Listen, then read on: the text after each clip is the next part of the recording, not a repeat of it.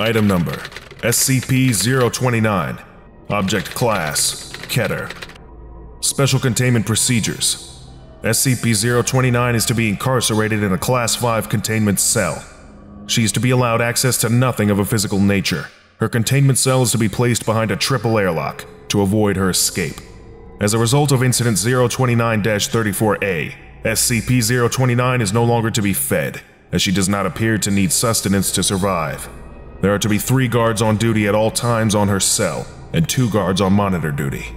Floodlights have been installed in the walls of the containment chamber and are to be on at all times. Once a month, the chamber is to be cleaned and checked for defects.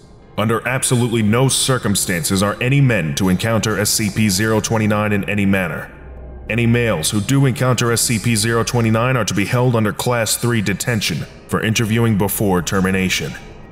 SCP-029 is requested a bed, denied, a blanket, denied, books, denied, clothes, denied. This is ridiculous. The girl can't even have clothes. We are not animals. Let her cover herself. Dr. Erica Bodine. Dr. Bodine, you are granted permission to deliver clothes to SCP-029. Dr. Light. As of Incident 029-53B, anyone who has potential access to SCP-029 is required to first watch surveillance tape 029 Bodine as a reminder of threats involved when working with SCP items and SCP-029 in particular. Description SCP-029 appears to be a pubescent female of Asiatic Indian descent. She appears to suffer from alopecia universalis. Over 80% of her pigmentation is a true black, while the rest of her skin has a complete lack of melanin, to the point of albinism. Her eyes are also a dark black in color. SCP-029 has severe homicidal tendencies and has displayed a remarkable ability to use any item as a weapon. However, she has a severe compulsion against shedding blood, preferring instead to strangle her victims. SCP-029 has demonstrated dexterity and physical reactions four times as fast as the average human. SCP-029 has also displayed extensive resistance to damage of all forms. Both of these extra-human abilities are greatly hampered in the presences of bright or direct light, natural or artificial.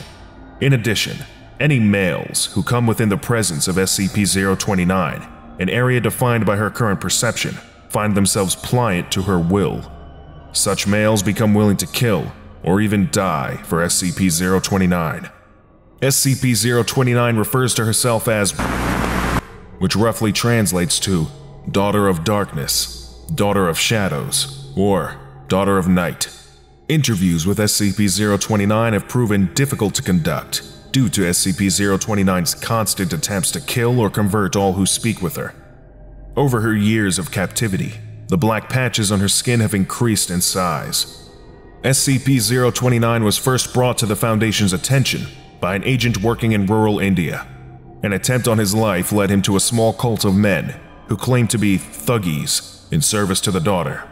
Several weeks of investigation proved that they believed the world to be in the last years of the Kali Yuga, and that by sacrificing one million lives to the Daughter of Darkness, they could raise their goddess and end the world. They also believed that only sacrifices performed through strangulation added to this tally. Events led the agent to their mountain fortress, where he discovered SCP-029. After the loss of said agent, data expunged, which ended in our acquisition of SCP-029. Addendum Seven years after capture, SCP-029 began showing anomalous growth in her black pigmentation. When questioned about it, she claimed her followers were on the move once more. Investigation led us to a concentration of so-called thuggees that had escaped our initial foray. After discovering that all of her followers were there for one of their holy days, a tactical airstrike was called in. When the first bomb dropped, SCP-029 awoke from slumber, screaming at the top of her lungs. SCP-029 continued to scream for the next four hours, ranting and raving that we were killing her people. Since said event, the growth of black pigmentation has stopped completely. Also since said event, SCP-029 has redoubled her efforts to escape. SCP-2820 has been proposed as a possible method of neutralization should this situation worsen. Lesson complete. If you missed the previous orientation, go watch SCP 028 Knowledge right now. Or for the complete course, watch this playlist.